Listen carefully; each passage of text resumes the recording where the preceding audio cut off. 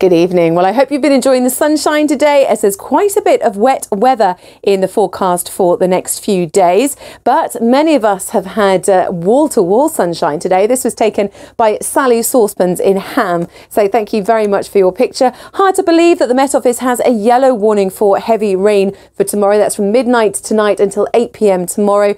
That is mostly concerning western parts of London and the outskirts. However, obviously the rain will affect all of us. Tonight, though, clear spells to start off with some rather heavy showers in the early hours of the morning and a mild night as well. Still quite breezy in places, down to about 14 degrees Celsius.